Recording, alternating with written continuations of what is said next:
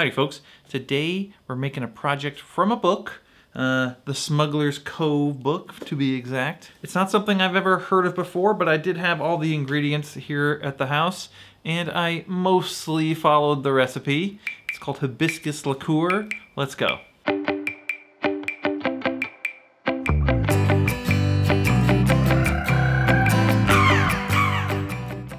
Now, Smuggler's Cove is a great book full of great information, lots of information about tiki and about rum. It's a great bar in San Francisco. If you haven't been, you should definitely go. If you haven't bought the book, you should definitely buy the book. Now the story begins on page 145 where there is a recipe for a drink called For Pete's Sake. A great name. Now it calls for homemade hibiscus liqueur, which you can find on page 331. Turning to page 331, we'll see that this recipe is in two parts. First, you infuse rum with ginger, clove, and hibiscus flowers. Then you sweeten it up with honey and simple syrup, and then you make the drink. Now, before I go on to show you exactly what I did, I do have a bone to pick with this recipe because it tells you to infuse one liter of rum with hibiscus, ginger, and cloves. But then to make the liqueur, it says only to use two and a half cups of what you just made. So then I have a cup and a half of infused rum sitting around? No, no, no, Smuggler's Cove, I am not doing that. Right away, I am changing this recipe. Instead of using a liter of rum, I'm just gonna use a 750. That's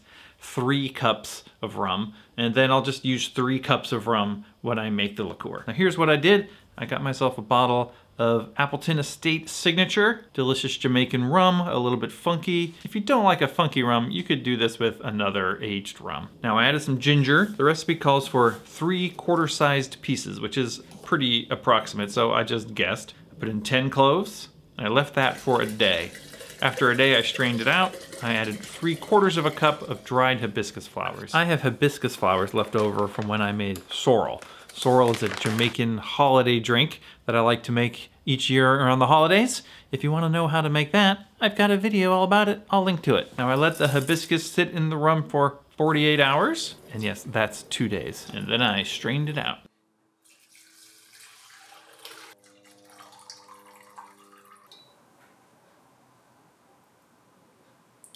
Now I'm going to deviate from the recipe again when I sweeten this. The recipe says to use half a cup of honey, which you heat up to make it runny, I think, so it'll dissolve in the rum. But I just did honey syrup because I already had that lying around. Put in a half a cup of that. It calls for a cup of simple syrup. I did half a cup of my regular gum syrup, and then I used half a cup of this hibiscus syrup that I got for free. If you want to know more about this hibiscus syrup, there's also a video about that from a couple of weeks ago.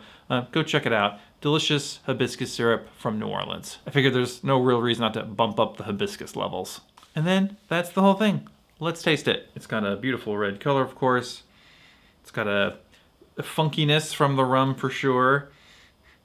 I smell a little bit of those ginger and spice notes. Um, a little bit of like a ginger burn, not not overpowering. Hibiscus is it's, it's tart, but it's also got sort of um sort of a dusty dryness to it, which is kind of nice. And you get a little bit of that a clove uh, aftertaste. The hibiscus syrup has a little bit of cinnamon in it, so it's uh, it's coming through a little bit as well. Delicious, and I bet this would be good with just with a little bit of rum or uh, with soda water, maybe hibiscus liqueur, rum, soda water, something like that would be really good. A thousand possibilities. So now on to the drink, which is called For Pete's Sake, which of course that You've gotta love that. The drink calls for pisco, lime, hibiscus liqueur, cherry heering, simple syrup, and angostura. Now, for pisco, I'm gonna use my go-to Caravedo Quebranta, delicious. For lime, I'm using fresh lime juice. We just made the hibiscus liqueur, but instead of cherry heering, I'm gonna use my homemade cherry bounce. What's cherry bounce, you ask? Only George Washington's favorite. I got a whole video about it. Go check that out. And finally, there's simple syrup. I'm using my gum syrup. And Angostura bitters are just Angostura bitters. Now the book, of course, says to use a drink mixer and to pour it gated into a double rocks glass. Now, I don't have a drink mixer. I'm still trying to find one at the thrift store. So I'm just gonna shake it and pour it over some crushed ice. Let's go to the montage.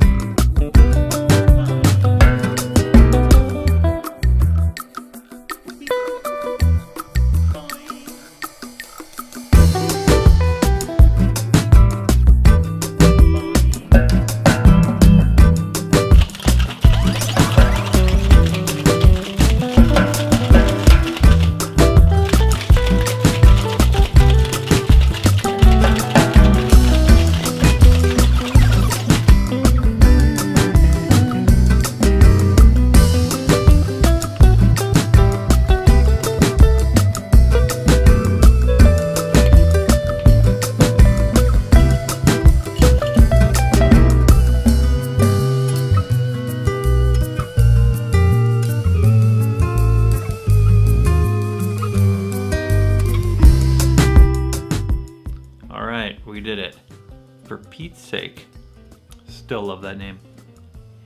Let's give it a taste. Pisco is amazing.